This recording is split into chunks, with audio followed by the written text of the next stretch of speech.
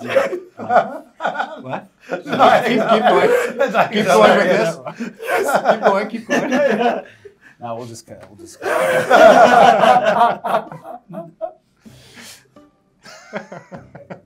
Yeah, that's good. I didn't say it. We just cut right there.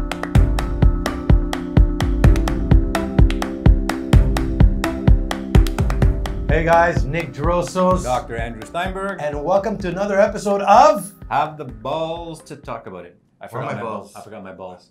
Balls, please.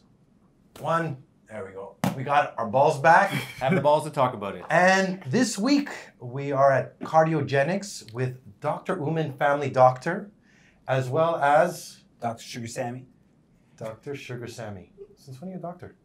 I don't know, but I am living my parents' dream right now as I'm faking this. So we're going to be talking about men's health. What do men need to know as they're getting older, especially over 40s? What can we do to stay healthy and strong? Let's talk about a topic that's dear to your heart: Which one? uh, erectile dysfunction. From what I've heard in the, the industry and in the club scene, um, it happens to everyone, right? It happens That's what to you hear. everyone. So, so um, erectile dysfunction is extremely common.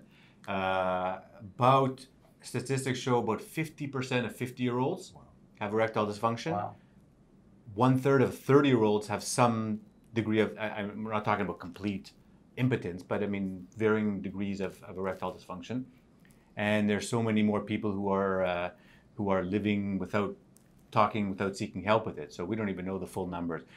Really, the revolution started with Viagra, and that really brought people out out uh, out of the woodwork and started talking about it much more. So I think that was a great thing, aside from being a great drug that, that, that works.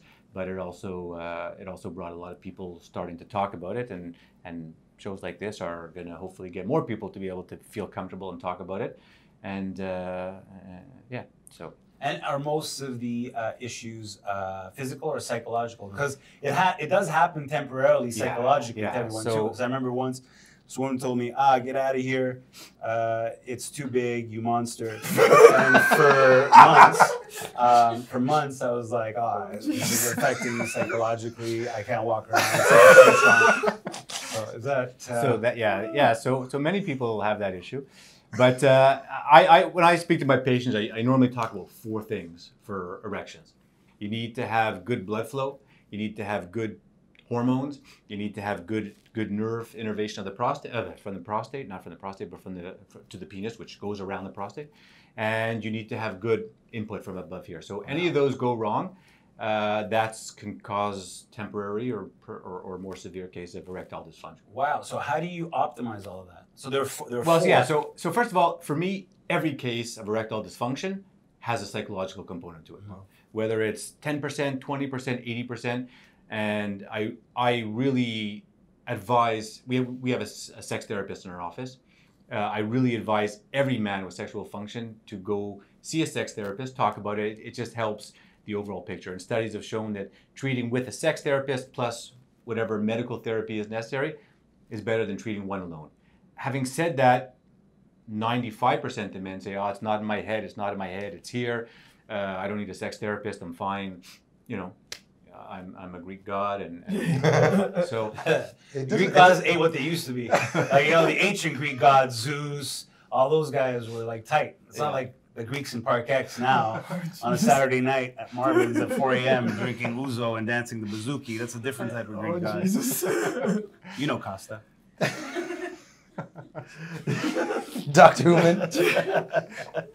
so, what is your take on that? Like erectile dysfunction, is it Okay. something you work work with or? Okay, yeah, great question. So just like Dr. Steinberg was saying, we think of it from a family medicine point of view. There's a psychological component and the organic biologic component. So we think when you're younger, there's a lot more psychology, and as you get older, there's a lot more biology, or like Dr. Steinberg was talking about, those four points.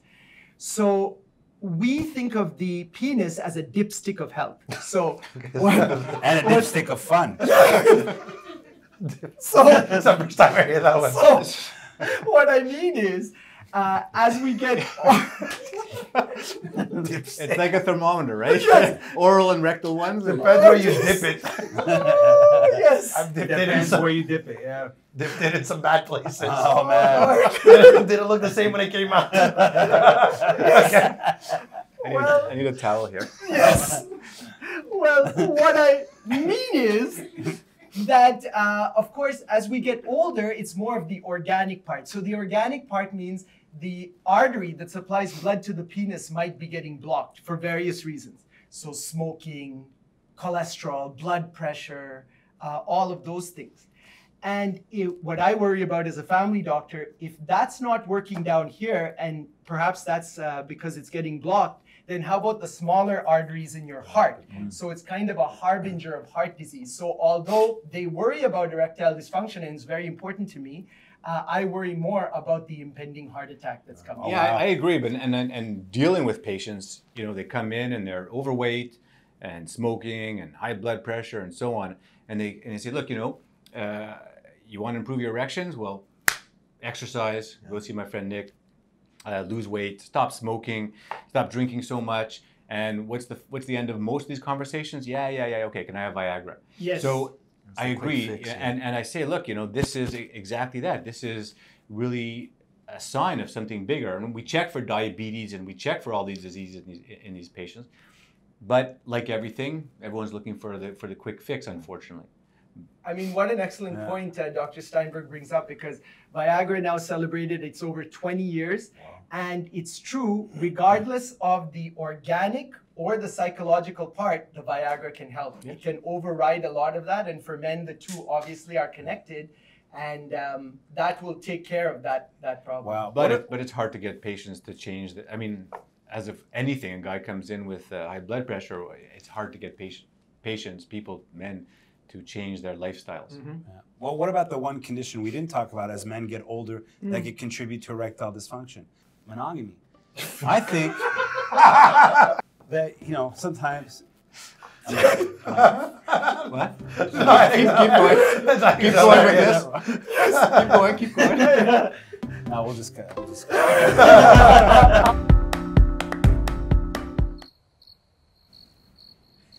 Right?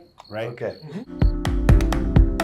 Yeah, well, for, for men who have erectile dysfunction, if they say that they, just with their girlfriend, uh, you know, they, they lose their, I keep on saying girlfriend, their wife, they lose their erection, but, uh, or boyfriend, Yeah. they, um, Because you'd lose it with your wife, but not with your girlfriend. exactly, so that's,